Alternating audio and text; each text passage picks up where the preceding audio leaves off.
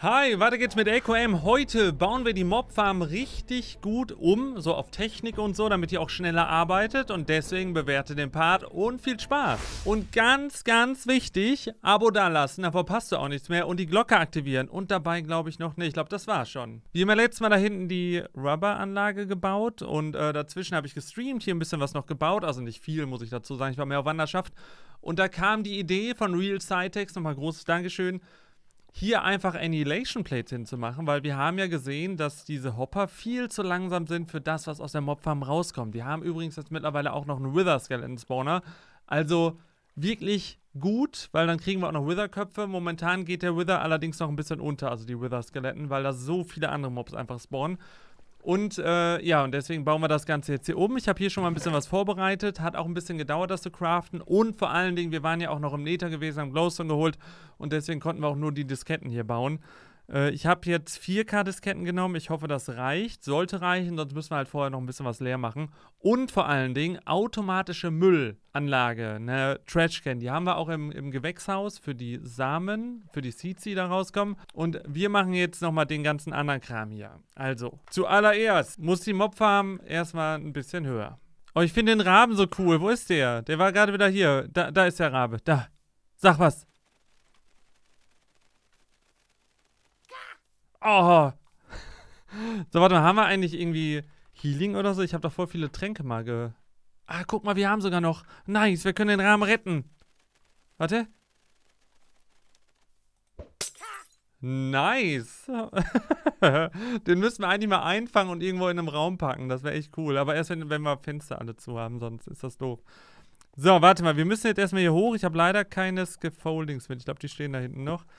Aber man haut manchmal die Mobs und dann sind die immer weiter noch oben in den Wasserstrahlen und das ist halt ein bisschen uncool. Und deswegen machen wir mal ganz kurz hier den Kram weg.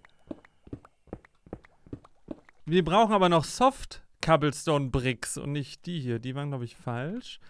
Äh, dann brauchen wir noch Buckets. Oh, warte mal, wir haben noch ein Super Bucket, oder? Wir haben den Bar Barter Bucket. Das ist ja super cool. Warte, müssen wir da nochmal hoch. Gleich haben wir so einen Megaturm, auch gut. Also zuallererst muss das hier weg. Sieht gut aus. Dann müssen wir hier einen draufsetzen. Dann haben wir hier noch ein paar Underseed. Ich glaube, wir haben alles Underseed weggeschmissen, als wir das im E-System neu gemacht haben. Nicht ganz cool, muss ich sagen, weil ich glaube, wir brauchen noch ein bisschen. Und die sind dann hier manchmal ins Wasser gefallen und waren dann wieder ein bisschen weiter oben. Und die müssen jetzt runterfallen und dann ist gut. Deswegen machen wir das so. Den Barter Rocket dahin. Brauchen wir ja überall eine Wasserquelle. Und dann machen wir 1, 2, 3, 4, 5, 6, 7, 8. Okay, ich glaube, wir hatten sowieso schon überall Wasserquellen. Dann ähm, kommen die Zauntore jetzt hier hin. Ich weiß gar nicht, wie viel wir hatten so. Ich glaube, wir hatten mehr, oder? Sind die, sind die hier drin verschwunden?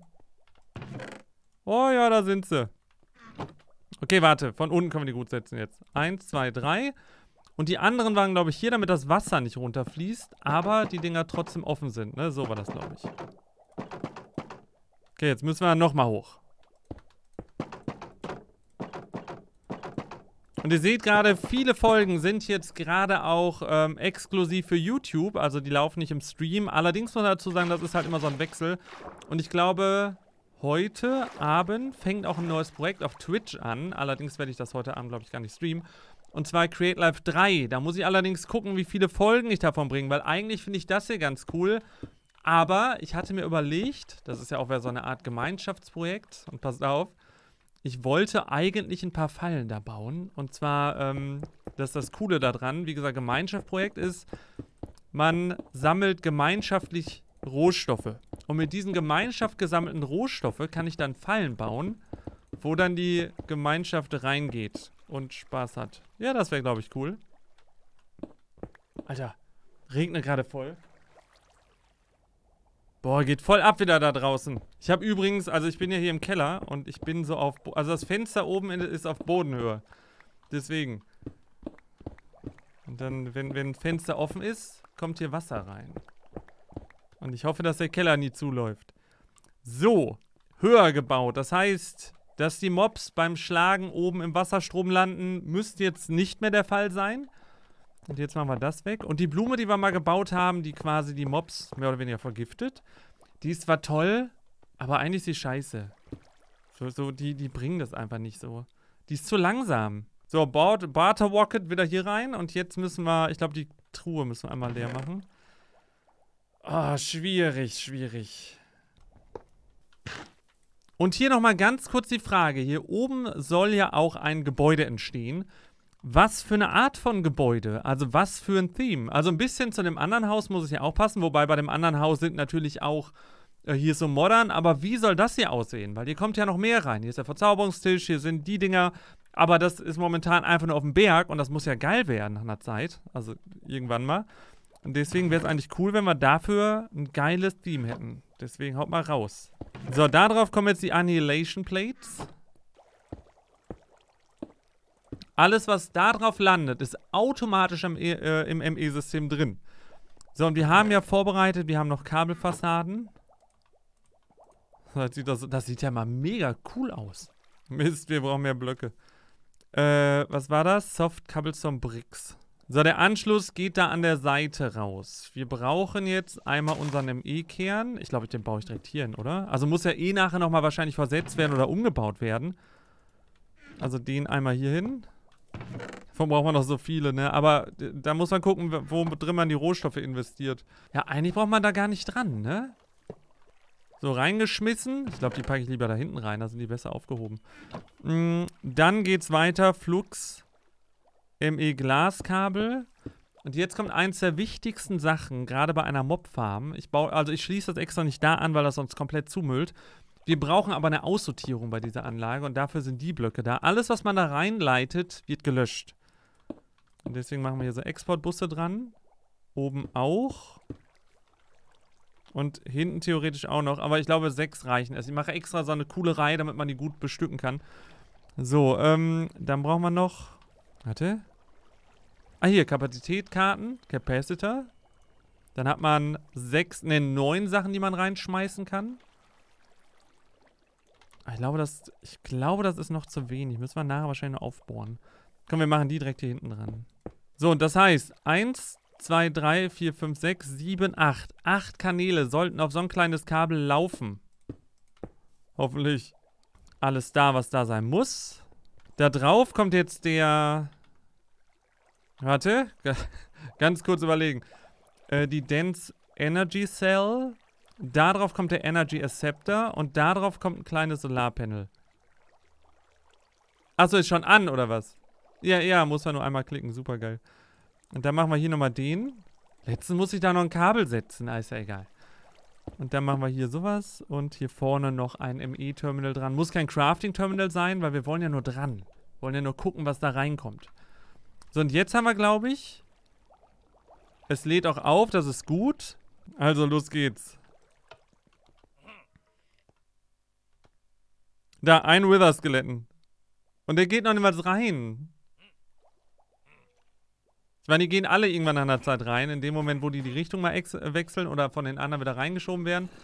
Aber hier passiert folgendes, und zwar das. Ich bin sehr gespannt, wie schnell das jetzt geht. Haltet euch fest. Wir warten mal ganz kurz, bis ein bisschen voller ist. Da ist das Wither-Skeletten-Skull. Ne, das Wither-Skeletten, kein Skull. Und dann gehen wir hier nochmal an den.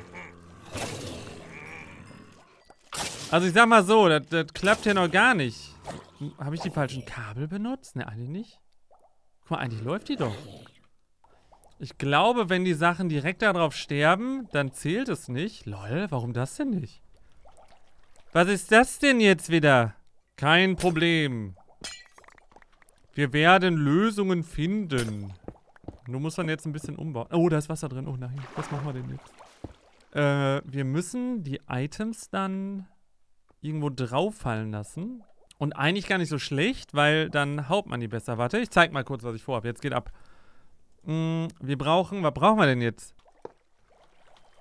So, die Mobs werden jetzt automatisch immer nach vorne befördert. Das ist ja schon mal nicht schlecht. Und dann wird alles, was hier ist, zur Seite befördert. Kann sein, dass die Mobs sich jetzt immer an der Seite tummeln, aber ist ja auch nicht schlimm.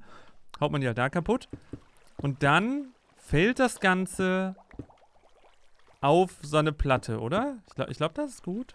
Oh, jetzt habe ich kein Glas mehr davon. Warte, machen wir anders. Machen wir das rein. Sieht magisch aus. Sieht aus wie für eine Mobfarm. So, das heißt, wenn jetzt Items drauffallen und dagegen fallen, werden die ins ME-System befördert. Das hört sich gut an, muss jetzt nur noch funktionieren. Okay, nächster Versuch. Aber erstmal jetzt zumachen wieder, alles top.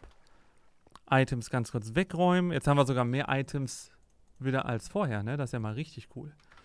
So, und los geht's. Guck mal, der Rabe wieder. Der ist voll cool.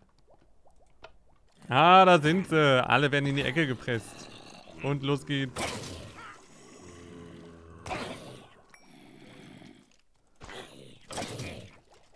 Guck mal, die XP bleibt auf dem Band liegen. Das ist ja mal super gut. Und die Items werden rumgeführt. Top. Ich mach das jetzt mal ganz kurz ein bisschen. Oder ist ein Wither-Skeleton? Oh, da ist er. So, wir gucken mal, ob alles drin ist. Ja, alles ist drin. Krass, okay. Jetzt gucken wir mal ganz kurz nach dem Stein. Da ist der. So, jetzt sammelt sich hier langsam Kram an. Das dauert natürlich dann ewig bei der, bei der Diskettenanzahl, die wir haben. Aber wir können im Vorfeld jetzt schon mal hergehen und sagen, alle Bögen, die sich hier drin sammeln, wegschmeißen. Alle Chainmail Boots, alle Wooden Swords. Da sind ja meist immer jetzt nicht so dolle Verzauberungen drauf. Ja, sieht ja gut aus. Und dann packen wir das hier so rein und sagen, pass auf, Chainmail, Chainmail und Chainmail. Voll die Waren, aber das wird zumindest rausgeleitet. Ja, weg. Und auch weg. Goldhose, das noch. Ja, komm, den Rest packen wir da rein. Dann hier so ein Hut noch. Da ist so ein Hut. So, wir brauchen noch eine Fuzzy Card und dafür brauchen wir Calculation-Prozessoren. Warte mal, wie viele Dinge haben wir da jetzt dran? Ich glaube acht, oder? Drei? Ja, genau, acht. Okay. Los geht's. Und dann können wir, glaube ich, so eine Fuzzy Card bauen, oder? Fuzzy Card, da ist sie doch. Advanced Card brauchen wir auf jeden Fall welche. Eins, zwei. Ah, warte. Ja, nice. Manche ist auch ein bisschen verbuggt. Ähm, Fuzzy-Card. Ne, warte mal, jetzt haben wir nur sechs. Wir brauchen acht, oder? Ja, eine Fuzzy-Card habe ich noch nicht gebaut. Das passt da oben. Wir haben mal zwei Quests ready gemacht. Gerade, also das hier macht die Fuzzy-Card. Gerade bei den Rüstungsteilen ist es relevant, dass man hier, also man kann auswählen, wie kaputt es sein soll. Oder alles vom, von der Haltbarkeit her. Und deswegen ist das so ganz cool. Also man kann zum Beispiel machen, dass Teile, die ganz sind, dass die behalten werden oder sowas. Und wenn man jetzt mein System guckt, sind alle Sachen draußen und wir machen nochmal an. Ich glaube, die Chicken Nuggets können auch weg, oder? Chicken Nuggets können weg. Kommen dann da rein.